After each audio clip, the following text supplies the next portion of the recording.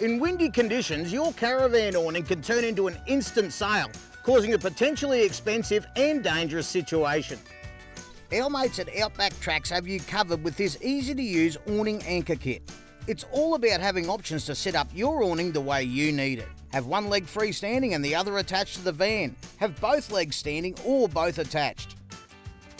Use the leg anchor place to secure awning legs firmly to the ground and with the revolutionary stainless steel screw-in ground dogs, your awning isn't going anywhere. The ground dog screws can go into just about any surface, even if the ground's almost concrete, and the locking nuts mean you don't have to use the entire screw for a secure fit. Another great feature are these rubber safety springs that easily connect your tie-down straps to the ground dog screws and keep your awning in place with a bit of cushion during gusts of wind. To find out more about this product or to purchase online, just go to grounddogs.com.au.